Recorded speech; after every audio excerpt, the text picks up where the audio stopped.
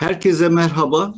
Tezkan elektron mikroskoplarının Türkiye temsilcisi olan Atomika Teknik Cihazlar firmamızın ikinci webinar sunumuna hoş geldiniz. Moderatör olarak görev aldığım bu sunumda kısaca kendimden bahsedeyim. İsmim Atilla. Lisans ve yüksek lisans çalışmamı fizik mühendisliğinde, doktora çalışmamı ise metalürji ve malzeme mühendisliğinde tamamladım. 30 yıldan fazla bir süredir elektron mikroskobi alanında çalışmaktayım. SEM, FIPSEM, TEM, STEM, EDX, EDXRF, image analizis ve Cray ultramikrotom cihazları konusunda uzmanlaştım. 2014 yılından bu yana da Atomika Teknik Cihazlar firmasında elektron mikroskobu uzmanı olarak çalışmaktayım. Sunumumuzun konusu taramalı elektron mikroskobu SEM teknikleri ve yeni nesil TESCAM taramalı elektron mikroskoplarına ilk bakış. Bu bağlamda Vega ve Mira cihazlarından da bahsedilecektir. Bugün sizlere sunumumuzu Yüksek Jeoloji Mühendisi arkadaşımız Volkan Erkut sunacak. Sunumun sonunda sorularınızı sunum sayfa numaralarını belirterek sorabilirsiniz. Buyurun Volkan Bey. Teşekkür ederim Atilla Bey. E, merhabalar. E, öncelikle katılmanız için çok teşekkür ederim. Başlamadan önce size çok kısa kendimden biraz bahsetmek istiyorum. Ben Volkan Erkut, Atomika Teknik Cihazlar firmasının aplikasyon departmanında çalışmaktayım. SEM, e, FIPSEM, XRD ve X ışının mikrotomografi cihazlarının aplikasyonlarıyla ilgileniyorum. Hacettepe Üniversitesi Jeoloji Mühendisliği mezunuyum ve yine aynı bölümde yüksek lisansımı tamamladım. Taramalı elektron mikroskopları ve teknikleriyle ilgili yaklaşık 5 senelik bir kullanıcı deneyimim var. Atomika teknik cihazlardaki görevimin yanı sıra hala akademik kariyerime devam etmekteyim. E, doktora çalışmamda da FIPSEM teknikleriyle ilgili bir çalışma gerçekleştiriyorum. Bugün sizlere Atomika Teknik Cihazlar bünyesinde hazırlanan webinar serisinin ikinci sunumunu gerçekleştireceğiz. E, eğer hazırsanız izninizle başlayalım. Öncelikle sunum bakışından biraz bahsetmek istiyorum. Aslında ana hatlarıyla iki bölümde olacak sunumumuz. İlk bölümde biraz e, temel e, elektronik mikroskobu teknikleriyle ilgili bazı temel bilgilerden bahsedeceğiz. E, genel bilgiler, elektron mikroskoplarının bölümleri ve bileşenlerinden biraz bahsedeceğiz. Elektronlar malzemeyle etkileştiğinde neler gerçekleşiyor, nasıl etkileşimler oluyor onları göreceğiz.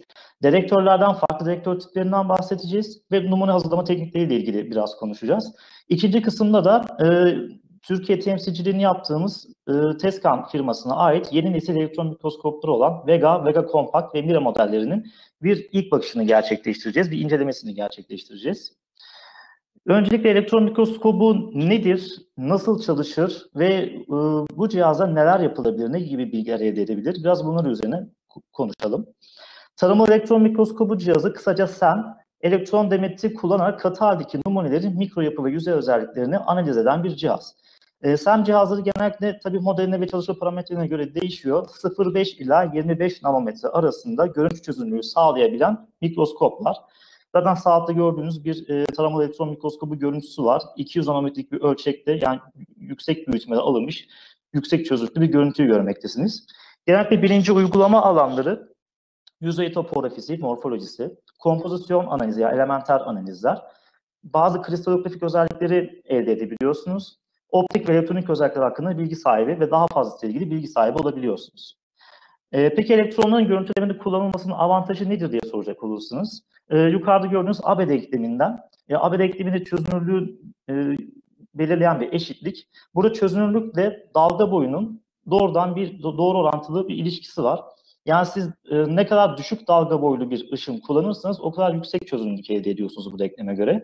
E, normal ışık mikroskoplarının e, ışık mikroskoplarının ışığın dalga boyu, görünür ışığın dalga boyu 400 nanometre civarında. Elektronun ise 0.3 nanometre. E, böylelikle de çok e, D değerini bir hale düşürüyor. Yani biz aslında yüksek çözünürlük derken olabildiğince düşük bir D değerini e, elde etmemiz gerekiyor. Bu bağlamda da e, lambda yani dalga boyu ne kadar düşükse o kadar iyi çözünürlük elde edeceğimiz anlamına geliyor.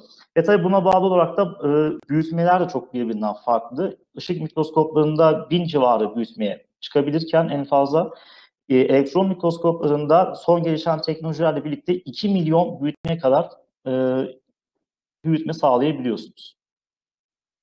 Yine e, elektron mikroskopların ışık mikroskobuna göre üstünlüklerinden bahsedecek olursak, e, optik mikroskoplar az önce bahsettiğimiz gibi 4x ila 1400x büyütme sağlarken yine demiştik e, taramalı elektron mikroskopları e, 2 milyon x'e kadar çıkabiliyor. Aynı zamanda çok daha fazla bir alan derinliği sağlıyor 30 milimetre kadar. Ve çözünürlüğü de e, gördüğünüz gibi optik mikroskoplarda 0.2 mikron civarında bir çözünürlük varken taramalı elektron mikroskoplarında 0.6 nanometreye kadar e, çözünürlük sağlayabiliyorsunuz. Bir başka üstünlüğü de optik mikroskoplarda sadece iki boyutlu görüntü alabilirken taramalı elektron mikroskoplarını üç boyutlu net görüntüler elde edebiliyorsunuz. Aşağıda da bir baryum titanoksit numunesinin, bir kristalinin e, üç boyutlu görüntüsü mevcut. Gördüğünüz gibi e, kristalin büyüme basamakları çok net bir şekilde taramalı elektron mikroskobu vasıtasıyla görülebilmekte. Peki SEM cihazı, tarama elektron mikroskopların hangi bölümlerden oluşur? Ee, öncelikle ilk üst tarafta bir elektron kaynağımız var. Daha sonra burada oluşturulan elektronlar bir elektron kolonu içerisinde ilerliyor. Bu elektron kolonu içerisinde de e, bir takım lensler, açıklıklar, e, bobinler ve tarama sistemleri mevcut. E, elektronmetre buralardan geçtikten sonra aşağı kısımdaki gördüğünüz örnek odasında numune ile etkileşime geçiyor. Numuneyi yerleştirdiğimiz yer örnek odası. Ee, burada örnek odasında da hem e, hareket edebilen bir numune platformu hem de bu odaya entegre e, retractable özelliği olan e, dedektörler mevcut. Oluşturduğumuz elektronların örnek odasında e, bir havayla temas etmesini e, istemeyiz. Bu sebeple de bir e, vakum sistemi ihtiyaç duyuluyor. Dördüncü bir bileşen olarak da vakum e, sistemi de eklenebilir. Elektron kaynaklarına bakacak olursak e, iki tip genelde elektron kaynağımız mevcut. Öncelikle elektron kaynaklarının amacından bahsedelim. Burada elektronu üretiyoruz. Elektron demetinin keskin bir şekilde görüntülenmesini sağlıyoruz, şekilde oluşturulmasını sağlıyoruz. Ve aynı zamanda elektron enerjisini ayarlıyoruz. E, temelde iki tip elektron kaynağı var. E, birincisi termoyonik kaynaklar ve ikincisi de alan emisyon kaynakları. Hatta cep telefonu Termo, termoyonik kaynaklarda kendi arasında ikiye ayrılıyor. Tungsten flamanlı ve lapsix kristali kaynaklı şekilde ol, olmak üzere yani lantan heksaborat kristali olmak üzere. E, bizim Vega e, birazdan bahsedeceğimiz Vega ve Vega kompakt modellerimizde tungsten flamanlı elektron kaynağı kullanılmakta. Alan emisyonlarda da Schottky ve soğuk alan olaraktan olarak ikiye ayrılıyor. Birincisi e, termoürenik, ikincisi alan emisyon kaynakları. Termoürenik kaynaklar kendi arasında tungsten ve lapsix olmak üzere ikiye ayrılıyor.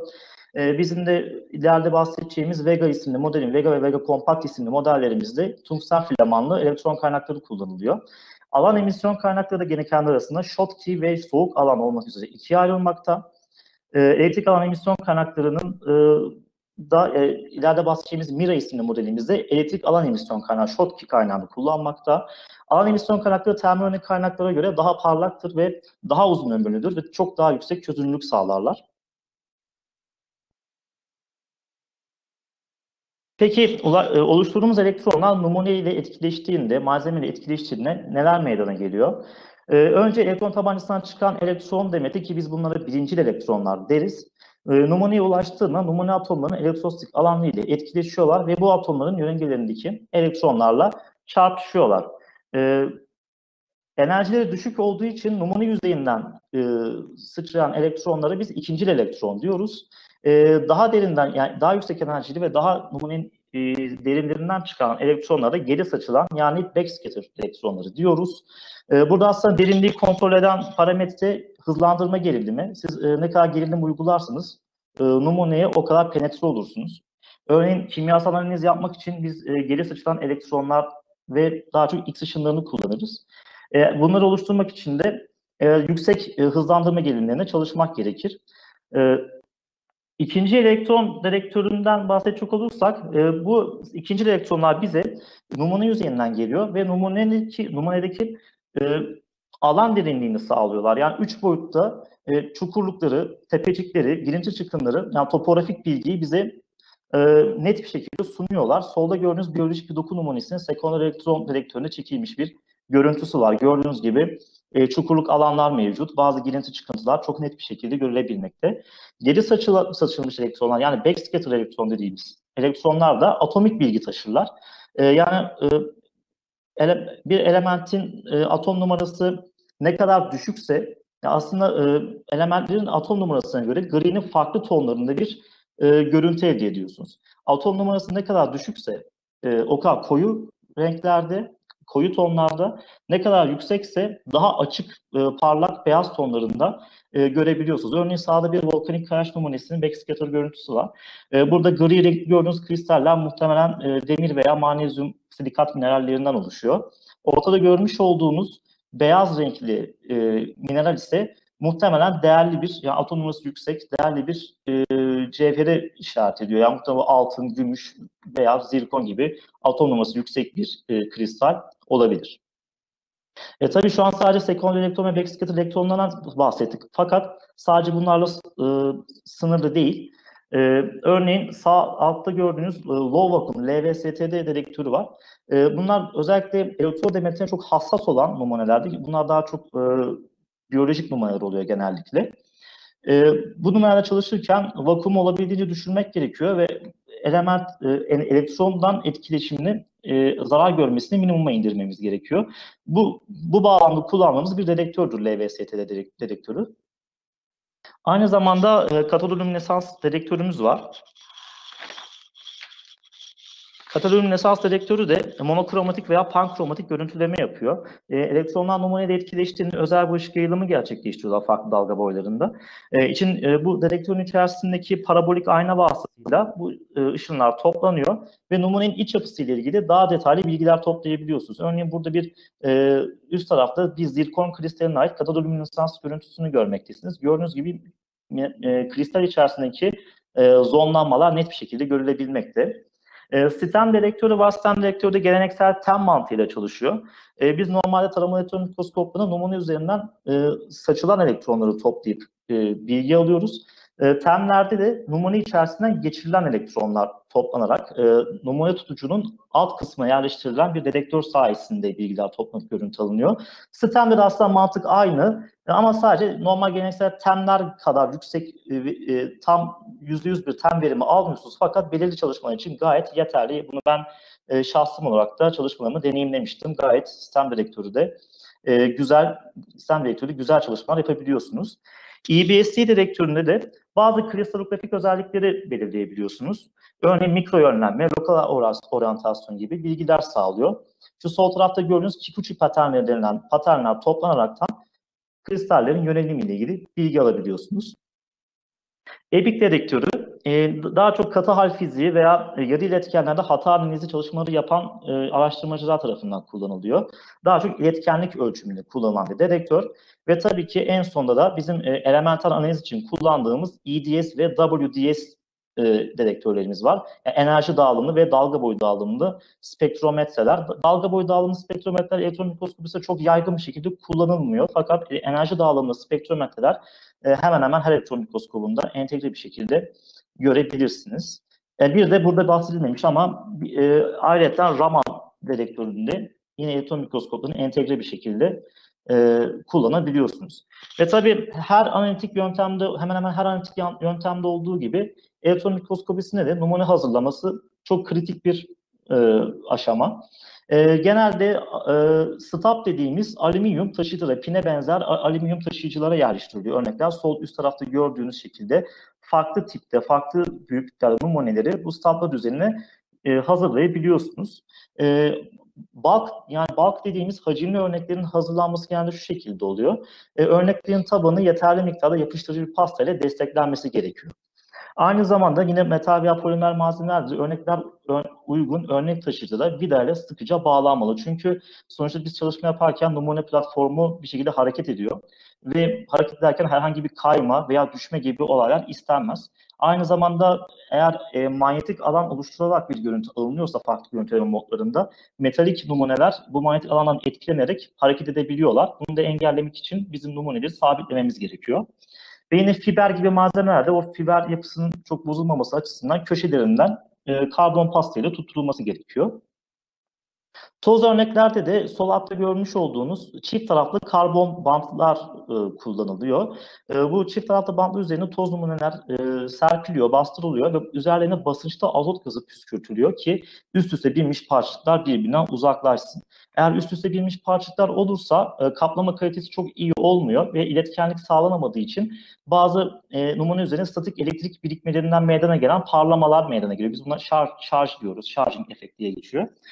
E, tabii ki biz bu numuneleri hazırladıktan sonra uygun bir iletken kaplamayla iletkenliğini güçlendirmemiz gerekiyor. E, iki tip genelde kullanılan kaplama var. Metalik kaplama ve karbon kaplama olarak. E, eğer siz bir EDS analizi yapmak istiyorsanız yani elemental kompozisyon e, bilgisi almak istiyorsanız genelde karbon kaplama tavsiye edilir. Çünkü enerji dağılım spektrumunda e, karbon piki en sol tarafta yani orijine en yakın tarafta e, yer alır ve bu yüzden de e, sizin numunenizde bulunan elementler elementlerle bir girişim yapmaz ve daha rahat bir şekilde analizi gerçekleştirebilirsiniz. Fakat EDS'li bir işiniz yoksa hani sadece yüksek çözünürlükte görüntü almak istiyorsanız e, altın paladyumdan oluşan metalik kaplamayı tercih edebilirsiniz. Yani örneğin zaten iletken ise zaten kaplamaya hiçbir şekilde gerek yok. Örneğin bir alüminyum numunesi veya bir grafit numunesi tamamen karbon oluşan bir numune ise kaplamaya gerek olmayacaktır. Evet size şu ana kadar e, sunumun ilk bölümünde elektron mikroskopisi ile ilgili genel bir e, bilgilendirme yapmaya çalıştım el verdiğimizce. E, sunumun geri kalanında da e, bizim Türkiye temsilciliğini yaptığımız Tescan firmasının yeni nesil e, yenilenen Vega ve Mira taramalı elektron mikroskop modellerini e, tanıtmaya çalışacağız. Öncelikle Tescan firmasından bahsedelim. E, Orsay Physics e, bünyesindeki e, Tescan firması kimdir? E, Tescan firması daha önce Çekya, Çekya'nın Brno şehrinde kurulmuş e, Tesla firmasından e, ayrılan eski mühendis bilim insanları yöneticiler tarafından kuruluyor 1991 yılında. Bundan önceki Tesla firması 1951 yılında kurulup e, 1989 yılına kadar e, üretim yapıyor ve kapandığı tarihe kadar da 3000'den fazla SEM ve TEM cihazını piyasaya sürüyorlar. 1991 yılında da Tesla, Tesla Tescan ismiyle artık e, hizmet vermeye başlıyor. İlkler şirketi olan Tescan ilk olarak plazma fibri bir SEM ile ortaklaşa üreten ve Raman ile TOF-SIMS gibi spektrometreleri de SEM'e entegre eden ilk firmadır. E, Tescan 2013 yılında Orsay Physics ile birleştikten sonra ve XRI Dinamik X ışın tomografi şirketine satın aldıktan sonra benzersiz bir ürün portföyüne sahip oluyor. Yani ürün skalasını bir hayli genişletiyor. 2019 yılında da Tescan Brno'daki üretim kapasitesini genişletip iki kat iki kat daha büyüme gerçekleştiriyor. Yani son yılların en çok gelişim gösteren e, firmalardan bir tanesi Tescan. Ve geçtiğimiz sene 2019 yılında da 3000. cihaz kurulumlarını Almanya'daki bir araştırma merkezinde gerçekleştirdiler. Ki bu sayı günümüzde daha hala da artmakta. Tesca'nın Vega modeliyle e, başlayacağız. E, sağda görmüş olduğunuz Vega 3 e, LM Chamber bir, e, daha önceki bir önceki nesle ait e, Vega ve şu an artık yenilenen yüzüyle yeni Vega, yeni nesil Vega karşınızda. Mikron ölçekte rutin malzeme karakterizasyonu, kalite kontrol ve araştırma uygulamaları için kullanabileceğiniz analitik bir taramalı elektron mikroskobudur. LM ve GM olmak üzere iki tip örnek odasına sahip. E, LM e, tipi örnek odasında yaklaşık e, 10 ila 12 santim çapındaki numuneleri e, inceleyebiliyorsunuz. GM tipi oda biraz daha büyük. Onda da e, 20 santime kadar, 20-25 santime kadar çaptaki numuneleri e, inceleyebiliyorsunuz. Ve aynı zamanda düşük vakum ve single vac modülle birlikte e, Vega modüllerinde standart hale getirildi. Bu şekilde tabii yenilikleri bununla sınırlı değil. Artık e, tam entegre Essence EDS kullanarak tek bir arayüzle SEM görüntülemeyi ve temel kompozisyon analizini e, verimli bir şekilde tek bir platformda birleştirdiler. Yani e, elektron mikroskobu kullanıcıları bilecektir ki e, normalde SEM görüntülemek için farklı bir bilgisayar e, kimyasal analiz yapmak için, EDS analizlerini yapmak için farklı bir bilgisayar kullanılırdı. Farklı programlar kullanılırdı. Artık Essence EDS modülü sayesinde tek bir bilgisayarda, tek bir software üzerinde biz hem SEM görüntülemesini hem de kimyasal analizleri çok basit bir şekilde gerçekleştirebiliyoruz. E, In-Flight Beam Tracing modülü sayesinde de e, optimum görüntü analitik koşullar anında sağlanıyor. Yani kolon içindeki lens ve deflektörlerin optik özellikleri bir programla yüksek hassasiyette hesaplanıyor ve böylece her gerilim ve akım değerinde lens sistemi otomatik olarak optimum performans için kendi kendine ayarlanıyor. Zaten bu modül önceki nesil elektron mikroskoplarında da Tezcan'ın e, yer alıyordu. E, yine patentli Whitefield Optics tasarımı sayesinde e, örnekleri çok düşük büyütmelerde örnek üzerinde zahmetsiz ve hassas SEM navigasyonu gerçekleştirebiliyorsunuz. E, bunu da sağlayan şey normal klasik elektron mikroskoplarında elektron konuna bir apertür denilen bir açıklık vardır.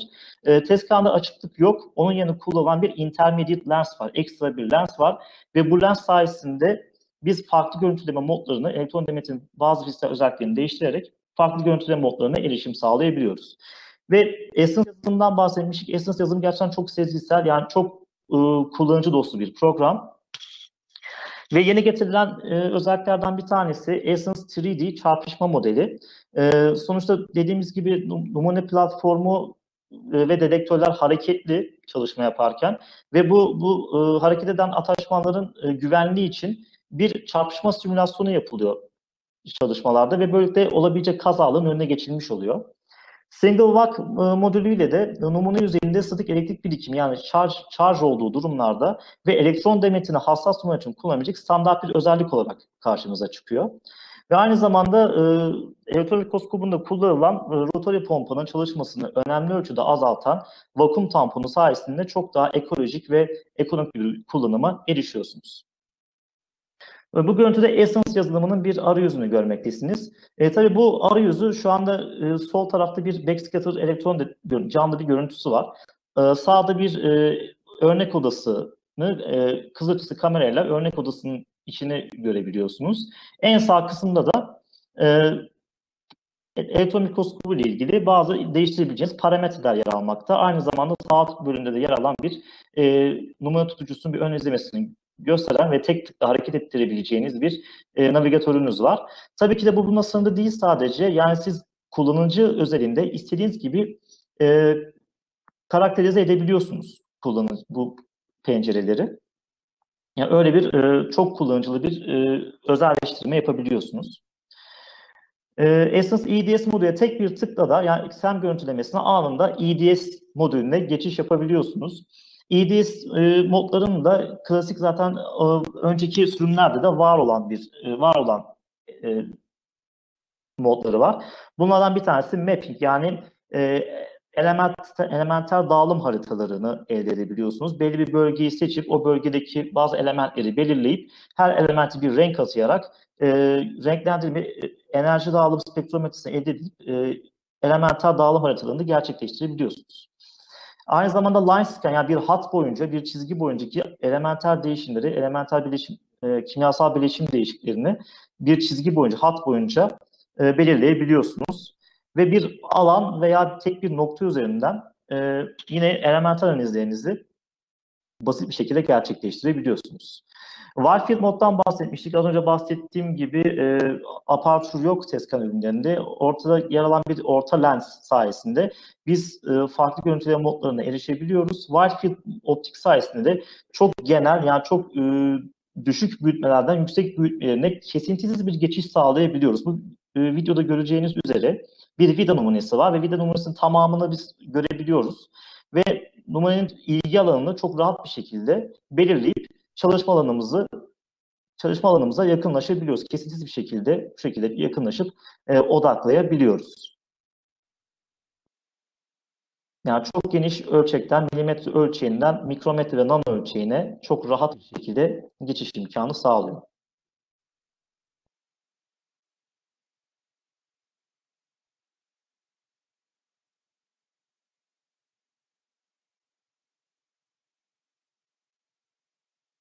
Ve şu an tekrar uzaklaştığınızda numunenin tamamını görüntüleyebildiğiniz Whitefield modunda bir görüntü.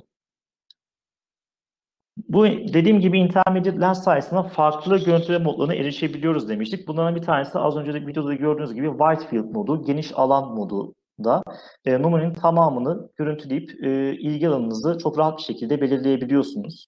Aynı zamanda resolution modu e, yüksek büyütmelerde net görüntüler, yüksek çözünürlükte görüntüler almak için kullanılan bir e, görüntüleme modu. E, fakat özellikle topografik numunelerde şöyle bazı sorunlar gerçekleşebilir. E, siz e, örneğin bir tepecik, tepe, tepe yer alan bir alanı yoğunlaştığınız zaman arka planda daha aşağı kısmı çukurda bulunan alanlar e, tam odaklı gözükmüyor. Yani siz nereye odaklıyorsunuz, odaklanıyorsunuz orası net. Odaklanmanız aşağıda kalan çukurda alanlar, kalan alanlarda flu bir görüntü elde ediyorsunuz.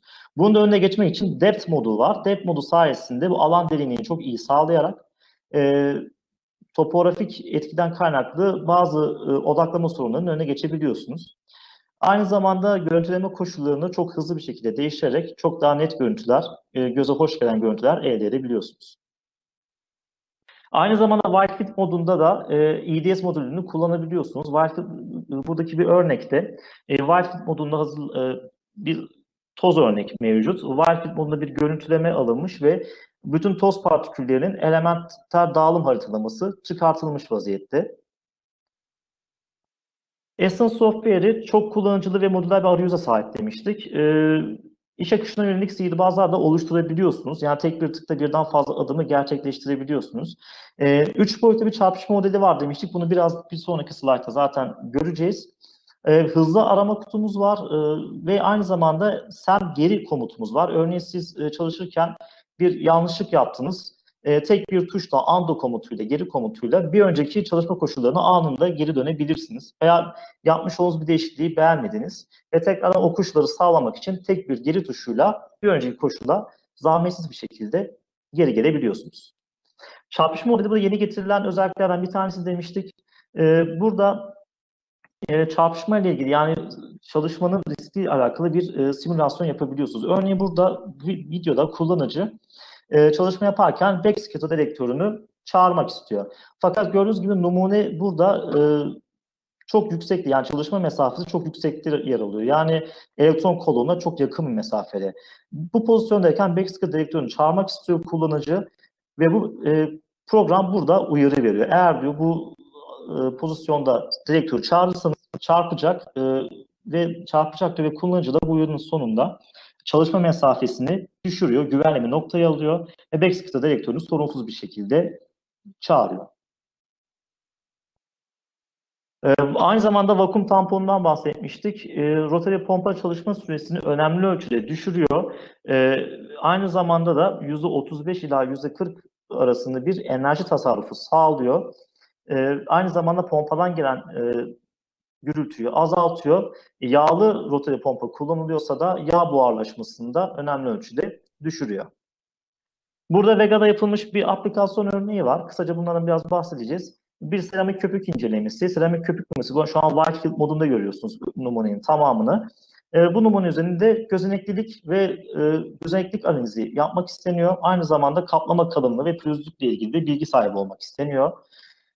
Burada bazı görüntüler var. E, gördüğünüz gibi yakınlaştıktan sonra gözenekler belirlenmiş ve gözeneklerin boyutuyla ilgili ölçümler yapılmış. E, bu istediğiniz kadar bu gözenek boyutlarını ölç, ölçüp e, e, boşlukların ne kadar kaç nanometre olduğunu çok kolay bir şekilde görüntülere ekleyebiliyorsunuz.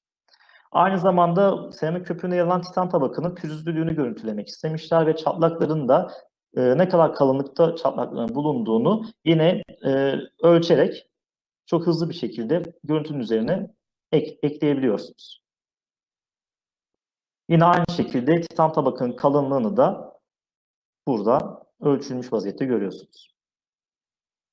Ee, yeni getirilen yine özelliklerden bir tanesi olan single walk modunu demiştik. Ee, tek bir tıkla şarjsız görüntü elde etmenizi sağlıyor. Şu anda e, yüksek vakumda modunda sekon elektron görüntüsünü görmektesiniz. Burada gördüğünüz gibi iletkenlikten kaynaklı bir problemden dolayı e, şarj gözükmekte. Yani statik elektrik birikimi görülmekte. Böylelikle numaralı istenmeyen bazı parlamalar, bozukluklar gözüküyor.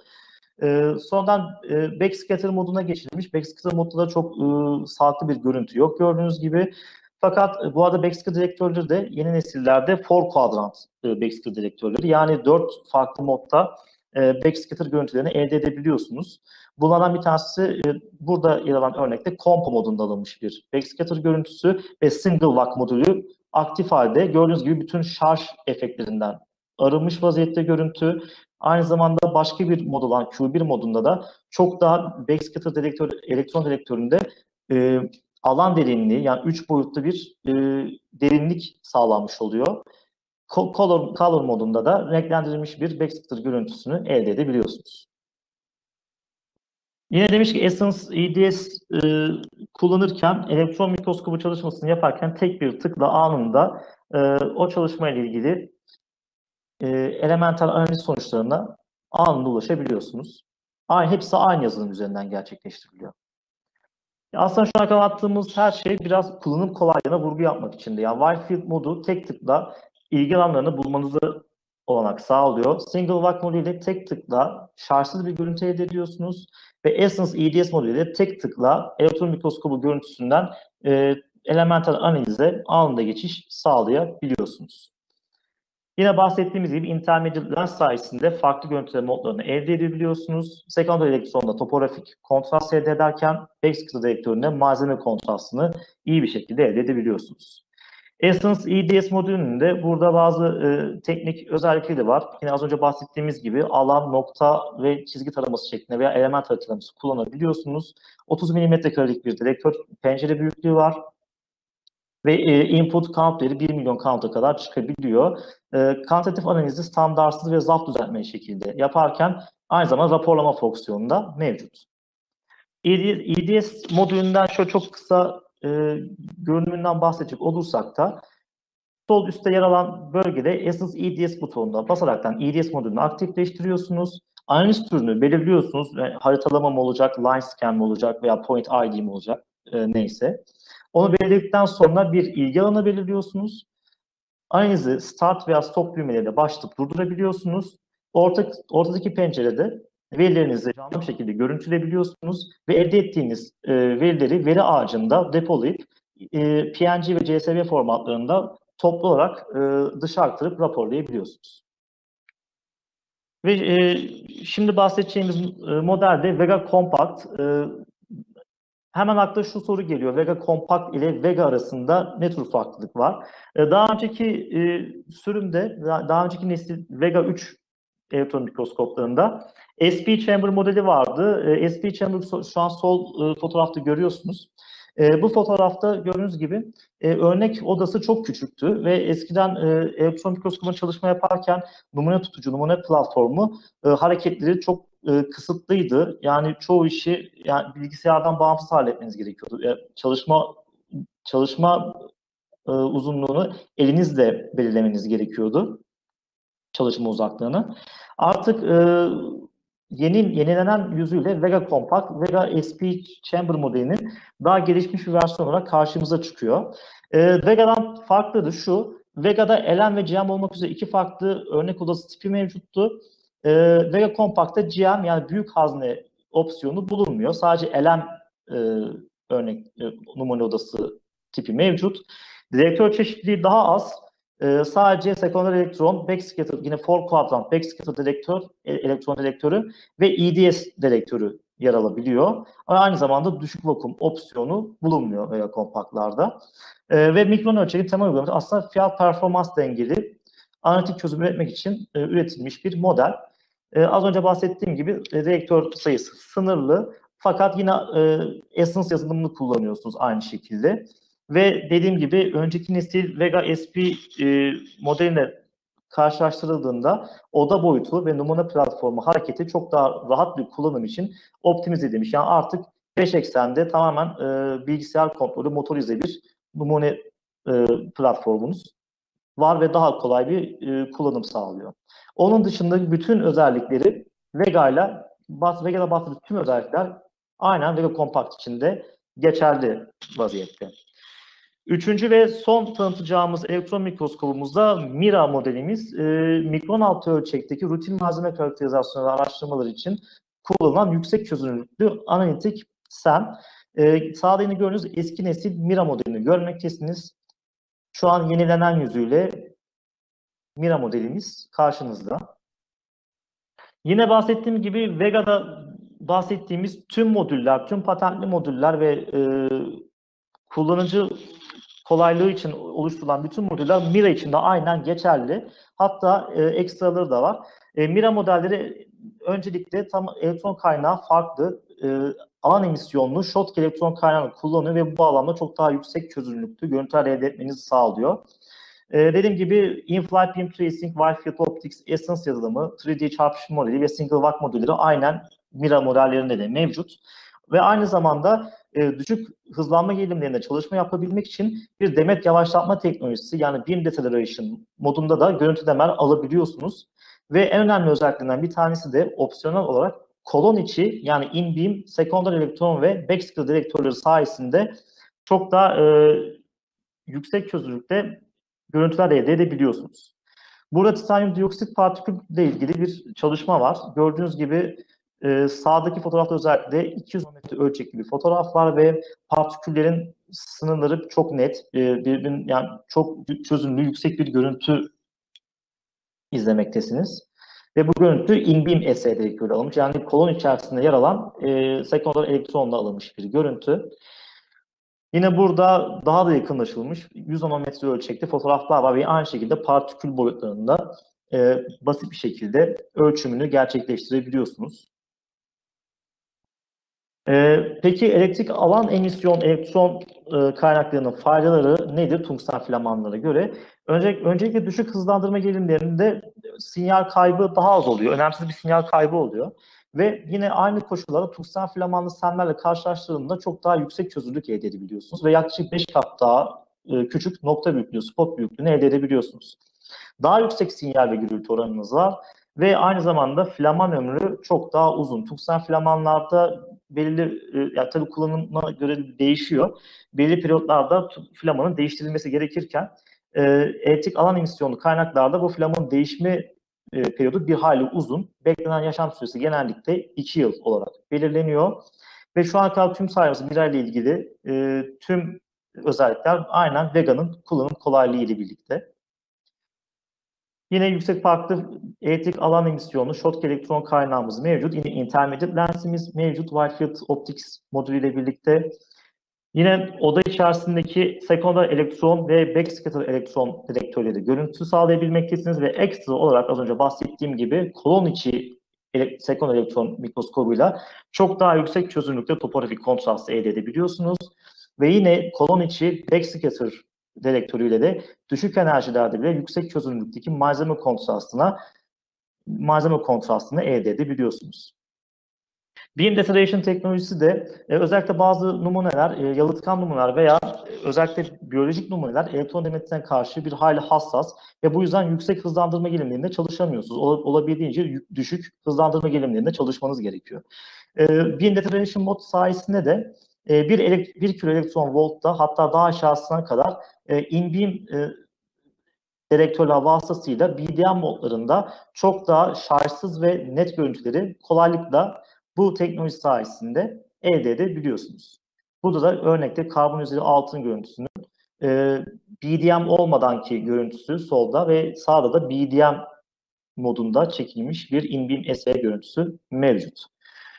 E, benim bu sunum bağlamında anlatacaklarım bu kadardı. Size yeni nesil Vega Compact, Vega ve Mira modellerini tanıtmaya çalıştık. E, umarım memnun kalmışsınızdır. Umarım e, aklınıza canlandır, canlanmıştır bir şeyler. E, dediğim gibi yenilenen yüzüyle e, ürün portföyü çok daha güzel bir hale geldi Teska'nın. Kullanım kolaylığı konusunda kesinlikle pazar lideri olduğunu yine yeni modüllerde de Teskan kanıtlamış vaziyette. E, ben dinlediğiniz için teşekkür ediyorum. E, soru veya katkınız varsa e, seve seve dinleyebiliriz. Sağ olun. Volkan Bey'e tekrar teşekkür ediyoruz. Ee, sunumumuzun bu bölümünde e, sorularınızı alabiliriz. Cihazlarda katı ve toz numunelerin hazırlanmasını anlattınız. Peki cihazların tamamında sıvı numuneleri de inceleyebilir miyiz? İnsan biyolojik numuneleri de incelenebilir mi? Volkan. Ee, öncelikle İrem Hanım İrem Hanım'a sorusu için teşekkür etmek istiyorum. Ee, taramalı elektron mikroskoplarında e, maalesef e, sıvı numuneler için bir e, ölçüm e, yapamıyoruz, e, inceleme yapamıyoruz. Yalnız bazı çözümler var. Örneğin bazı yani ileri şu anda sunumumuzun konusu değil belki yani onunla ilgili bir cihaz tanıtmadık ama Cryosen denilen bazı e, gelişmiş elektron mikroskopları var. Orada bazı e, oda sıvıları dondurup o şekilde bazı incelemeler yapılabiliyor.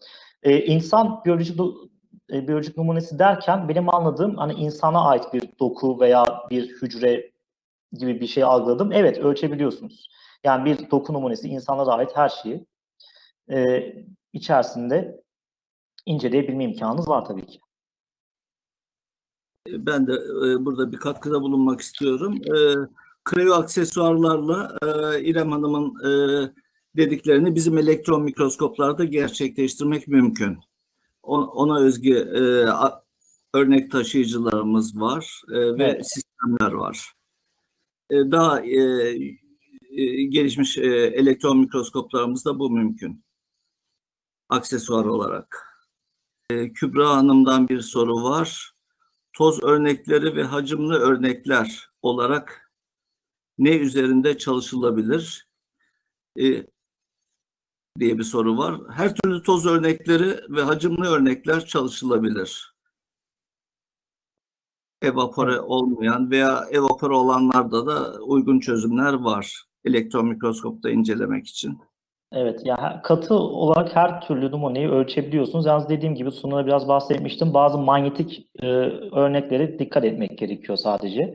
Onların doğru düzgün bir şekilde sabitlenmesi gerekiyor. Dediğim gibi özellikle bizim bahsettiğimiz resolution ve depth gibi modlarda manyetik alan oluşturuluyor e, oda içerisinde ve o manyetik alan numuneleri hareket ettirebiliyor. Sadece dikkat edilmesi gereken noktalardan birkaç tanesi buydu. Onun dışında her türlü katı numuneyi elektron mikroskobisinde inceleyebilirsiniz. E, Kıymet Deniz'in bir sorusu var. Minerallerin tanımlanmasına yönelik programınızdan bahsedebilir misiniz? E, TİMA'dan e, Volkan Bey e, kısaca ba- e, bahsedebilirsiniz. TİMA modelimizden. Evet, Tezca'nın e, Tezca'nın e, dediğim gibi burada tanıttığımız modellerden birisi değildi fakat TIMA isimli bir e, buna özgü bir modeli var Tezca'nın. E, özellikle madencilerin ve jeologların çok e, kullandığı yani e, yurt dışında dünyada kullandığı bir model. E, orada TIMA'ya dört tane dört tane EDS dedektörü takılabiliyor ve bu şekilde e, elemental ve faz analizlerini elektron mikroskobunda çok hızlı ve rahat bir şekilde gerçekleştirebiliyorsunuz TIMA modelinde. Ezgi Yılmaz'ın bir sorusu var. Lityum iyon pillerinin karakterizasyonu yapılabiliyor mu? E, FIPSEM sistemlerimizden e, bu Ee, mümkün.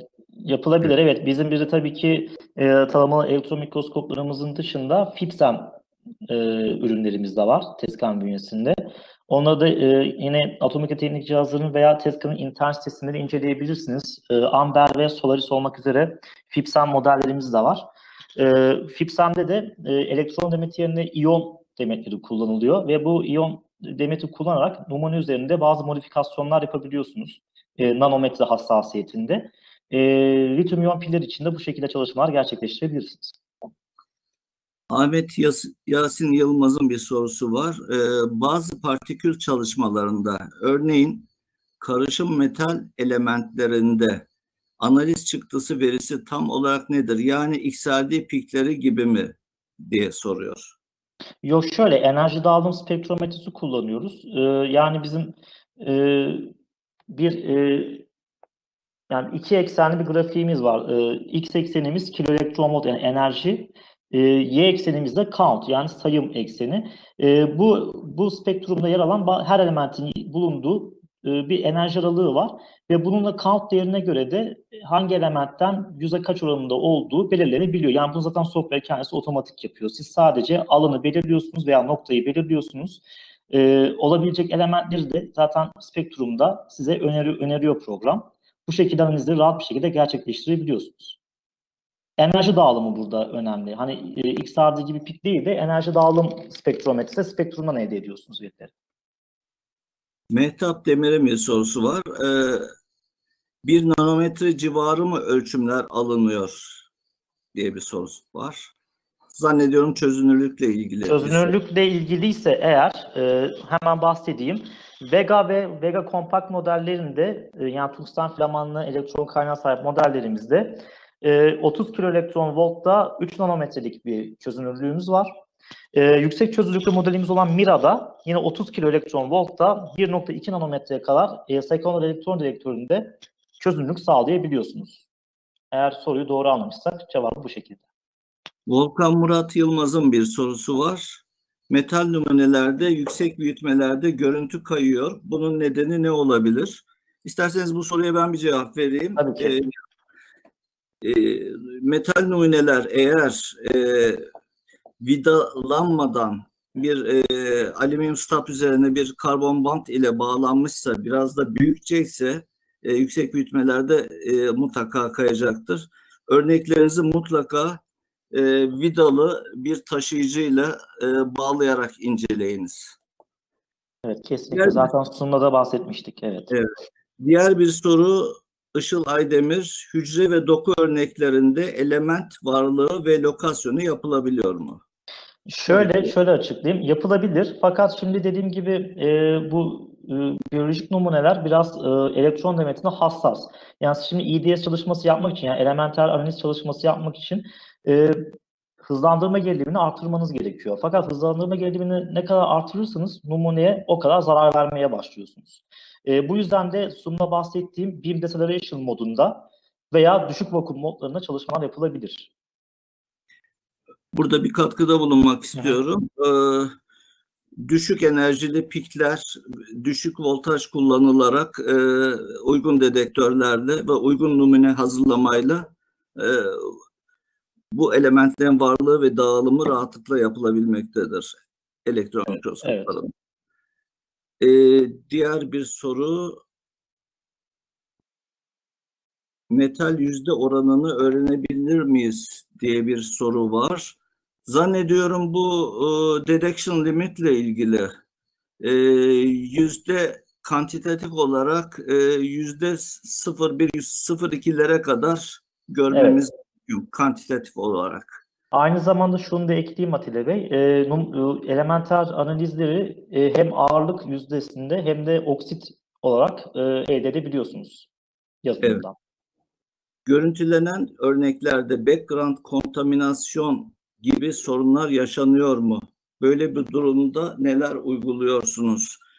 Ee, background kontaminasyonla acaba karbon konta- kontaminasyonu mu o bölgenin kararmasını kastediyor? Kararmadan kararmadan Evet. bahsediyor Evet. muhtemelen. Evet. Ee, bu, bunun gibi yöntemlerde hani olabildiğince eğer yani mümkünse eğer e, hızlandırma gerilimini veya pro bakımını düşürüyoruz ama onun dışında e, bazı e, opsiyonel eklentilerimiz var. Decontaminated eklentisi var mesela. Onunla e, bir, bir nebze o etkiyi azaltabiliyorsunuz. Ama opsiyonel bir özellik. Evet. Ayrı bir aksesuarla ha- evet bu sorun çözülebiliyor. Evet. E, ortalama 1 2 1 ila 2 nanome pardon 1 ila 2 milimetre boyutuna sahip böcek larvasının tüm kısımlarına dorsal ve ventral detaylı görüntü alabilmenin yöntemi nedir? Bunda bir sorun olacağını hiç zannetmiyorum evet. E, bu boyuttaki bir böcek lavrasında e, tabii Evet. e, critical point drawing kullanılması lazım. Uygun Kesinlikle. kaplama lazım. E, tamamen örnek hazırlama teknikleriyle ilgili e, sorunsuz alınabilir. Evet, e, özellikle biyolojik numuneler e, elektron mikroskopisinde biraz çalışılması e, zor numunelerdir. Örnek hazırlama burada çok kritik önem taşıyor dediğiniz gibi Atilla Bey. E, özellikle biyolojik numunelerde dediğiniz gibi kritik nokta kurutucusuyla mümkünse olabildiğince kurutulup neminin alınması gerekiyor. E, çünkü bir numune ne kadar kuruysa o kadar daha iyi iletkenlik sağlanıyor, o kadar daha iyi e, görüntüler elde etme imkanı oluşmuş oluyor.